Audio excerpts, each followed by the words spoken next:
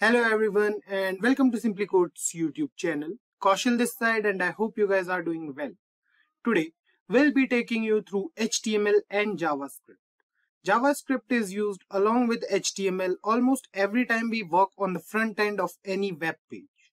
In the last video, we came across cascading style sheet or CSS and now that we have an idea about how to design and style any web page, let's see what else we can do with a web page to make it more interactive to the user. So before we begin, if you haven't subscribed to our YouTube channel already, make sure to subscribe to our channel and press that bell icon to never miss any updates on programming videos. So without any further delay, let's get started. JavaScript is a lightweight scripting language used to make a web page more interactive and livelier to the user. It is one of the most popular scripting languages present in world today. It's almost impossible to cover the whole of JavaScript in one small video because JavaScript in itself is an interesting topic. In this video, we'll go through the ways to attach JavaScript with HTML and some basic examples of what this language can do.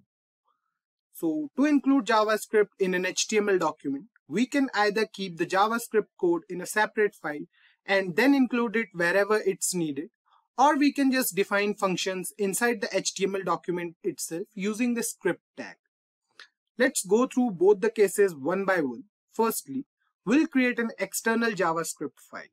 The benefit of using an external JavaScript file is if we are going to define a functionality, which will be used in various HTML documents, then it's better to keep that functionality in a separate JavaScript file and then include that file in your HTML documents. It will help us keep the HTML document neat and organized as well. So a JavaScript file always has a .js extension and the script tag is used to attach a JavaScript file to an HTML document. Let's move on to the programming part directly and then we'll see what we can do with JavaScript. Let's create a JavaScript file first. So we'll go here and we'll click on create a file. Now we'll create a file. Let's say the file name is going to be new.js. .js is the extension here and we have the JavaScript file now. Now it's time to attach the JavaScript file to our HTML document. We'll use the script tag after the body. So what we'll do is we'll move here and we'll write here script now, inside the script tag, we need two attributes. First one is going to be src. src is going to be new.js as this file is saved in that same folder. The next attribute we need is type. So we'll write here type. Type is going to be text slash JavaScript. Fine. So src here defines the path where a file is actually saved and type defines the type of file that is JavaScript in this case. So we are done with attaching the file. Now let's move on and make our web page a bit interactive to the user. Fine. We can write small functions known as event handlers and then trigger them using HTML only. Adding responsiveness to a web page means defining an event that will tell the system to perform a specific action upon calling. Sounds a bit confusing, right? So let's understand it with the help of an example. We are all aware of adding buttons to a web page, right? So if the user clicks on a button, then what should happen? We can either create a pop-up alert on the button click or we can do whatever we want. So let's create a button here first and we'll then add functionality to it. Fine. So here we are in a HTML document. We'll create a button over here. So we'll write over here button and let's say the button name is going to be external for external file. Save it now and you can see we have a button over here on the browser. Fine. Now click on it and you can see nothing is happening as of now. So let's add some functionality to this button now. For that, what we'll do is we'll write here inside the button tag. We'll define an event first. So let's say we are writing over here on click and we'll call a function on button click. Fine. So let's say a function name is going to be message and save it now. Fine. What we are doing here is we are asking the system to call the message function on clicking this particular button.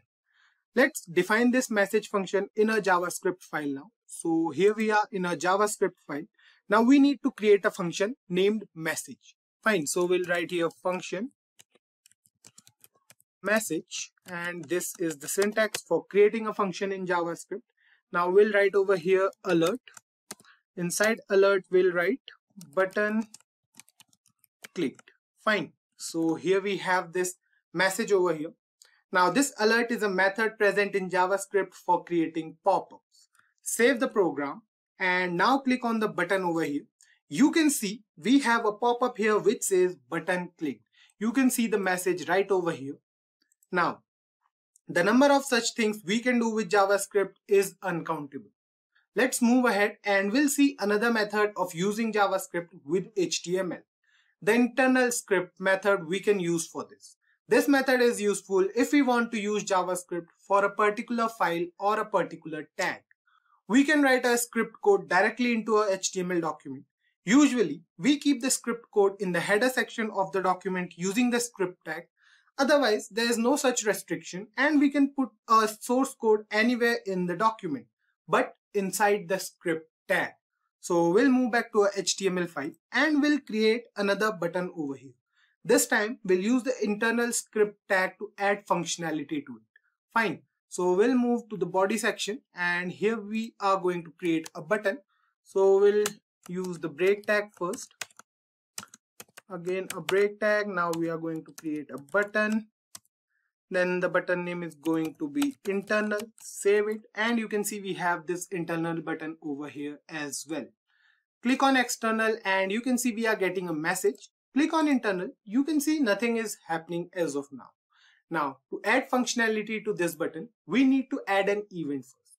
So we'll move inside the button tag and we'll write here on, let's say mouse over.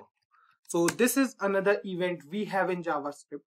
We'll see what this event can do in a while. So we'll write over here the function name. So let's say the function name is going to be internal for this particular button. Save it now.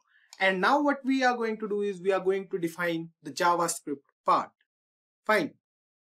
We'll move to the head section of a HTML document and we'll write here script. The script tag will remain the same in both the cases. Here you can see we have defined the src and type but here what we are doing is we are using it internally. So we'll create the function over here only. So we'll write over here function internal and this is going to be the body of this function and we'll write something over here inside the alert box. So let's say we are writing over here internal script tag. Fine. Save this program and move back to the browser. Now you can see the moment we take a mouse cursor over this internal button, a pop-up will appear with the message internal script tag. You can see the message over here. Fine. This is because of the on mouse over event we used. So guys, we went through both the methods of adding JavaScript to an HTML document. I hope you guys got it. Although JavaScript is a very long topic to discuss, it is a language and if you want to learn it, then you can go through our channel and find the JavaScript playlist here. So that's all for this video guys. See you in the next one where we'll go through HTML layouts. If you enjoyed watching this video, then do give it a thumbs up. If you have any doubts, do let us know in the comments. Please share it with your friends and don't forget to subscribe SimpliCode. Thank you.